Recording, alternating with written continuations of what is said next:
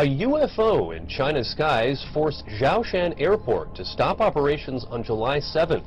Outbound flights were grounded after the unidentified flying object was detected by a flight crew. The incident has captured the attention of Chinese media.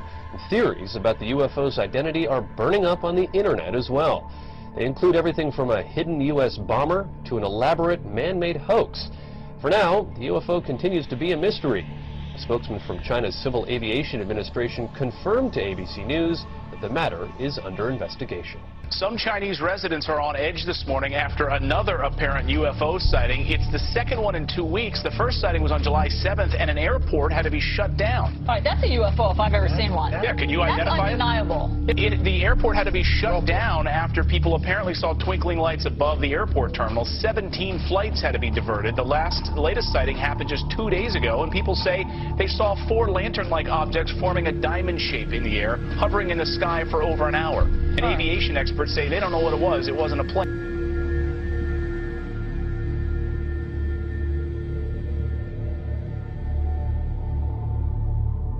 Scientists from all over the world are trying to figure out what caused a mysterious blue light to spiral in the sky over Norway on Wednesday.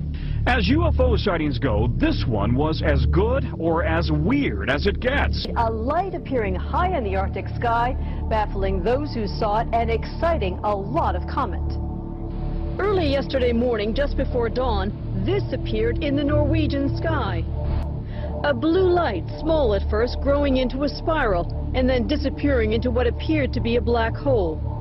In the northern community of Trondelag and on a Norwegian military base, cell phones snapped, video cameras rolled, and bloggers got busy. That tonight, Norwegian authorities are investigating strange lights seen in the Arctic sky. The spiraling white light was seen for several minutes Wednesday morning.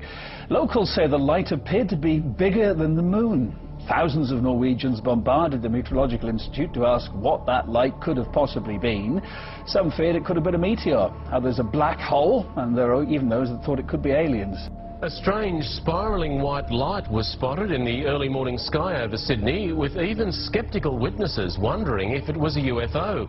The unusual sight was recorded by hundreds of people from Victoria north to Queensland. A spiral in the sky around a bright light. Scientists left baffled by an unexplained circular light seen hovering high over Moscow on Wednesday evening. People described seeing a wide circular formation in the sky. Footage capturing the spectacle will help Uh, whether scientists and, and specialists find an explanation for the event.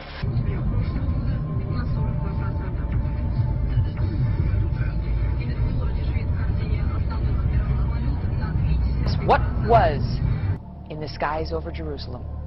And why did it stop over one of the most treasured sites in Christianity? There's a new video this morning that some say may be proof we're not alone in the universe. A UFO in the form of a bright light is seen descending over the Dome of the Rock in Jerusalem. The video is said to be taken over the weekend. Uh, then suddenly the light shoots up into the sky. You see it. Another video from a different angle uh, appears to show the light doing the same thing. Now it is sparking intense debate on the internet. Trace Gallagher following this live from our West Coast News. So the question is, what was that UFO? What was it doing over Jerusalem? And, you know, is he back? Yeah, and that is the question, by the way, Megyn, because, you know, critics, it's, it's difficult for them to dismiss this because there are so many different angles. We've got four different videos, all from various perspectives, but they do not know of anything like this in the Israeli army. All right, because listen, I don't, I don't like to be scared. I, I just can't take it. It's, you know, I don't know what it is. Well, I wish I could give you an answer to this bizarre sighting. I really can't, but I can tell you that earlier today, there were dozens and dozens of people right here on 23rd and 8th. They were standing right here, and they were all in a stupor, just crowded together, looking into the sky. Well, a lot of people are looking up. It's because of a mystery in the sky. Is it a balloon, a UFO? Whatever it is, it sure has a lot of people talking. Eyewitness News reporter Jeff DeGase is live in Chelsea, where crowds have gathered. Jeff, what's this all about? Well, Sade, we don't know.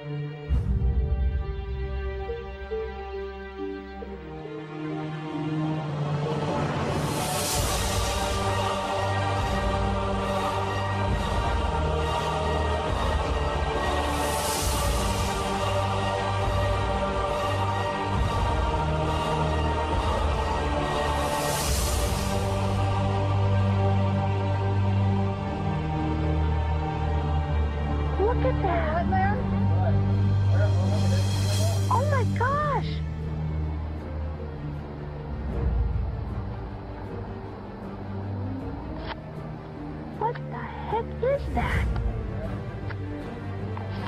What is that? Look at the joint. Oh my gosh.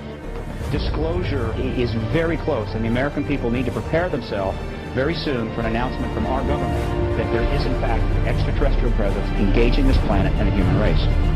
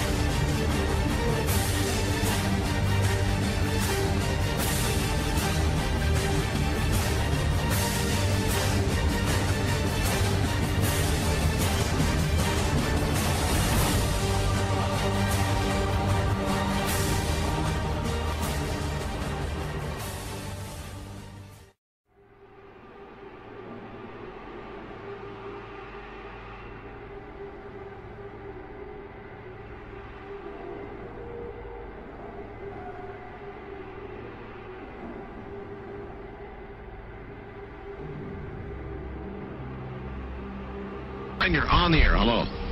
Hello, Art. Yes. Hi. Um, I, I, I, I don't have a whole lot of uh, time. Um, Well, look, let's begin by finding out whether you're using this line properly or not. uh, Area, Area 51. Yeah, um, that's right. Were you an employee or are you now? Uh, I, a former employee. Former um, employee. I, I, I was let go on a medical discharge about a week ago, and and I, I've kind of been running a, across the country. Um, oh man, I don't know where to start. They're uh, they're, they're gonna um, they'll triangulate on this position really, really soon. So you can't spend a lot of time on the phone. Uh, So give us something quick. Okay, um, um, okay, what, what we're thinking of as, as aliens are, they're, uh, they're, they're extra dimensional beings that an earlier precursor of the, um, space program made contact with. Uh, they, they are not what they claim to be.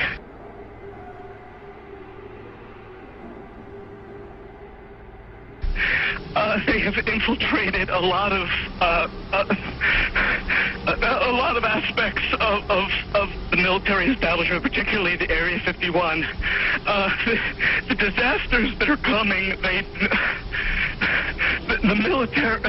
I'm sorry, the, the government knows about them, and th- there's a lot of safe areas in this world that they could begin moving the population to now, Art.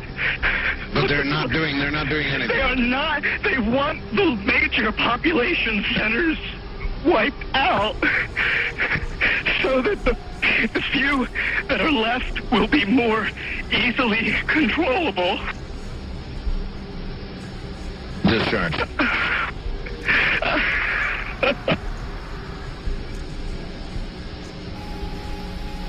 I, I started getting.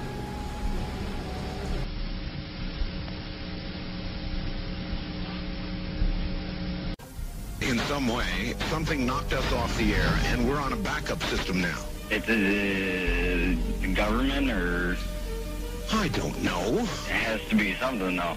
Well, did you hear? Now you tell me because you were listening. That was awful strange. There was a really weird guy on the air when it went off. Yeah, real weirded out. Like uh, going, sort of, sort of sounding paranoid, yeah. schizophrenic. Like crying and everything. Yeah, yeah, yeah. And how far into the conversation was it when when it went off? Just a couple, about 15, 20 seconds, I'd say. Oh, you you guys missed. You, you really missed a call then, and I've got a feeling somebody didn't want you to hear it. Yeah.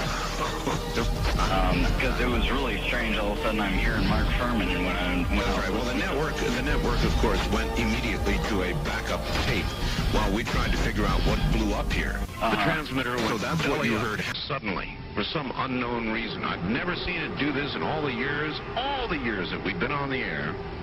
I have never seen the transmitter in this way just simply fail, a massively fail, like a massive heart attack or some kind.